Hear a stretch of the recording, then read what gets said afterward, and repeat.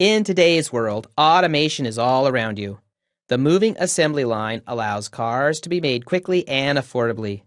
Today, you can buy a car straight from the factory with your choice of several colors and with many options like backup cameras, built in navigation systems, and heated leather seats. The assembly lines now use automated machines to perform some tasks along with human workers. The machines help with doing repetitive processes controlled by the employees. For example, the machine might paint the car, but the employee will decide to load the paint color of red, blue, or white. In computer software, we also have assembly lines called wizards. A wizard will ask you a series of questions until you get to the finish button. Often, a wizard will get you most of the way to your end result. It gets most of the tedious work out of the way. Once you get the report project back from the wizard, you can tweak the final results. Let's take a look at the data that we want the wizard to automate into a report for us. I've run the reset script and JProco is set up. And the table that's going to drive most of the data that we're pulling from is the bookings table. It has 800 records and dates ranging from 2006 all the way to 2013. Now, we're not interested in all of these records. We're going to look at the data from 2007. So we'll say where the year for the booking date, which is this field right here, is equal to 2007 and we get 101 rows. Look at this first record 18 guests booked a trip. That means we collected 18 times what amount? Well, there's no price field in here. Well, we can join to another table to get that. All we need to do is type inner join from the current products table, and we'll alias that as P, and they relate on the product ID field. Run this query, and we can see over here exactly what the retail price is and exactly how many were ordered because we joined these two tables. Well, let's make an expression field that shows us exactly what each line item is worth. That is the number of guests times the retail price. And let's alias that field as total sales. All right, this first record was worth how much? $1,891.062. So I don't have to scroll all the way to the right. Let's put this expression field first. There we go. Now we can see this field first and all of the other fields after it. It looks like there's some pretty good sales in 2007. What's the total for 2007? Well, if we get rid of this select star and just have our expression field, we can see all the individual totals, and now we can put an aggregate function called sum around the expression field. Run that, and the total for the year was $351,830.6804. What was the total for January of 2007?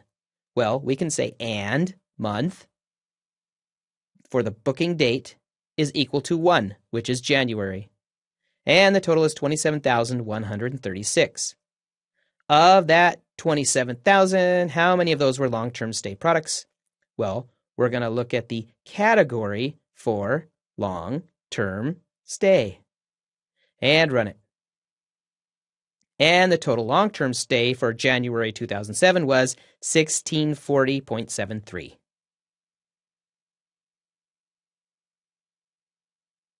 So let's say you're the person with SQL skills getting the data that your company needs. By running this query, you can get the yearly report for 2007. By running this query, you can get the January report for 2007. And by running this query, you can get the long term stay category of January of 2007. Or by using one query with a join to feed an SSRS report, in a tabular format, you can see the yearly total and all the month totals for that year and all of the category totals for that month. This report shows you the first name and total sales detailed fields and is grouped and stepped by year, month, and category. Notice the group fields of year, month, and category all have a plus next to them, making them expandable for drill down or collapsible for a summary. Our goal will be to create this report on the right by using the wizard and a query that joins these tables. When a waiter or waitress comes to take your order, they usually ask a few questions, like, What would you like to eat? Would you like anything to drink? Can I get you anything before dinner? Will you want dessert? They want you to answer these questions, and this puts you in control of what happens. Most of the work to completing this meal will be done based on how you answer these questions. To you, this is an automated process that involves your participation. When we launch SQL Server Data Tools SSDT from the Start menu under SQL Server 2012, we will select the Report Server Project Wizard as the type of report we want, and we will be guided through the process that will do much of the report setup for us. So, it's time to get started. Let's start SQL Server Data Tools by clicking the Start button, going to All Programs, going to SQL Server 2012, and going to SQL Server Data Tools. We're going to start a new project. From the Business Intelligence section, find Reporting Services and select the Report Server Project Wizard. Make your path into the Joes 2 Pros SSRS Companion Files Chapter 3 folder and call this Report Wizard.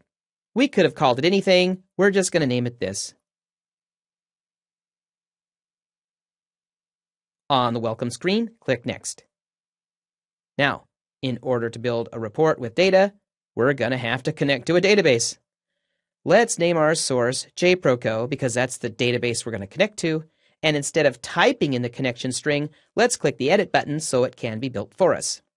We're going to hook to the local host, which is our machine, and we're going to hook to the JProco database on our local host. Let's test the connection. Looks good. Click OK, click OK again, and there's our connection string. Click Next. And we're not going to teach you how to write a long query, but we've prepared it for you. Right here is the Sales by Employee script, which is in the Chapter 3 folder in the Resources folder.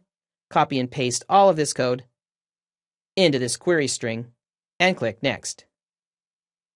Now, we're going to choose a tabular report and click Next. You might remember that we want the ability to group by year, and then by month, and then by category. And we like to see the details for the first name field and the total sales field. Click Next. We're going to choose this stepped format where the year is in the first column, and then the month, and then the category. And be sure to include the subtotals and enable drill down. Now click Next. You can choose any of these color type templates that you want. We're going to choose Slate. Click Next. The deployment folder is going to be changed to Chapter 3. Click Next. And this particular report inside of this Report Wizard project, we're going to call it Employee Sales. Click Finish.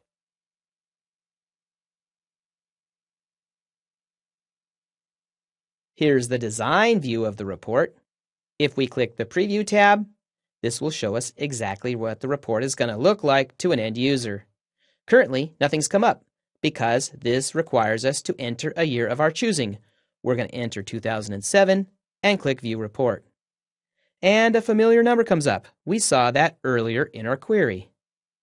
Well, what about the total for January? We'll expand 2007, and here's month 1 through 12. The total for January is seen right here. How about by category? Well, there's the total for January for long term stay, medium stay, no stay, and overnight stay. Click the plus next to long term stay, and we see one line item total for Lee, and for medium stay, we see two customers. This is a nice report, but you probably have some ideas on how would you want to improve the look and feel. That's what we're going to do in the next video. And that was Chapter 3.1 Create a Report with a Report Wizard. Our next item, Chapter 3.2 Spruce Up the Report Wizard Report.